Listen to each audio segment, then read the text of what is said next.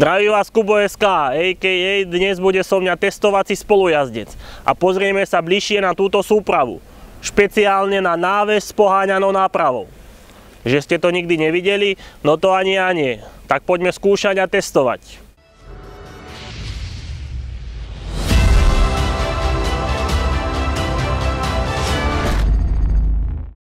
Nachádzame sa na obalovni firmy IMOS, kde túto súpravu testujú.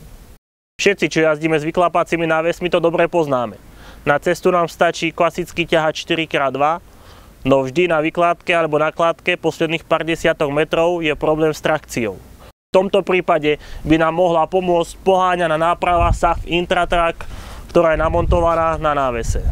Náves sa požičiava aj s ťahačom, na ktorom je urobená úprava, aby sme vedeli tento systém zapnúť. Ťahač musí mať namontované dvojokruhové hydraulické čerpadlo ktoré používame buď na sklápanie alebo na pohon návesu.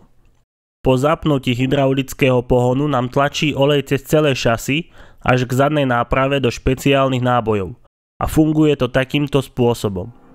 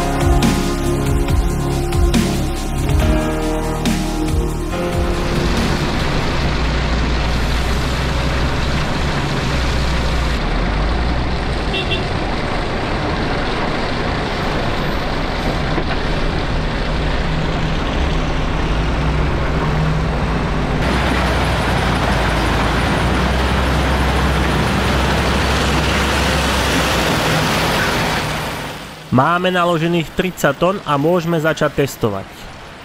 Takže štandardná situácia, naložená súprava zastaví na zablatenej ceste v kopci a chce sa znova pohnúť. Hnaná náprava ťahača nám nestačí, tak zapíname hydraulický pohon návesu. Ako môžeme vidieť, funguje to.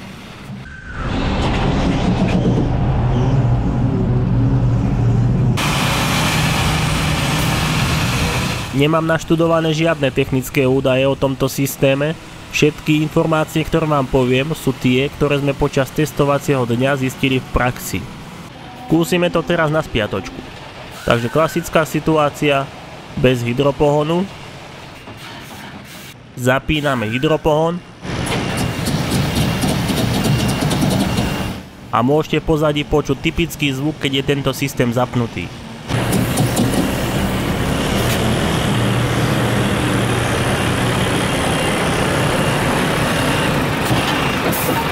Funguje to, ale zistili sme pár vecí. Na to, aby ste zapli hydropohon, musíte najskôr zapnúť hydraulické čerpadlo. To zapnete až vtedy, keď je vozidlo zastavené a má zaradený neutrál.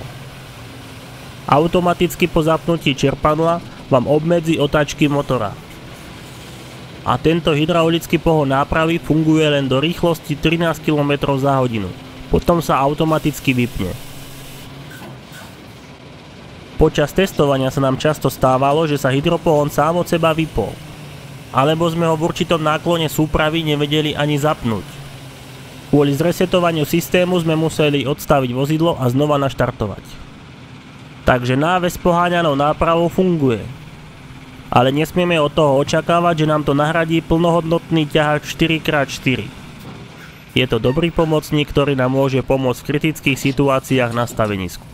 Je dobré, že sa vyvíjajú nové systémy, no ukáže až prax, či sa tento systém rozšíri a či je to lepšie a efektívnejšie riešenie ako hydropohon, ktorý sa používa na predných nápravách ťahačov.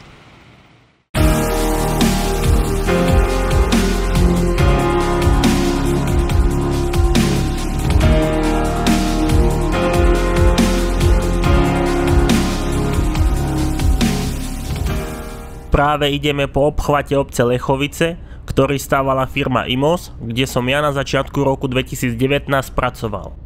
Tieto násypy som svahoval, tento svah som svahoval. Ak vás to zaujíma, tak všetky videá z tejto stavby majú vytvorený svoj zoznam videí, kde ich jednoducho a ľahko nájdete.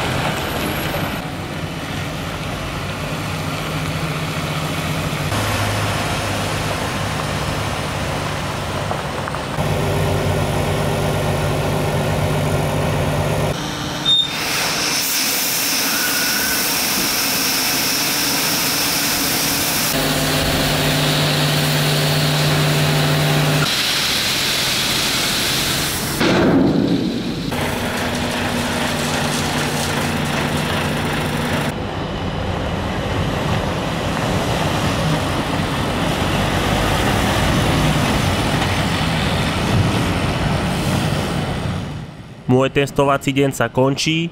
Ja ďakujem skúsenému vodičovi Robovi za jeho skvelý prístup počas natáčania. Týmto sa s vami lúčim, ďakujem za vašu sledovanosť. Ahoj.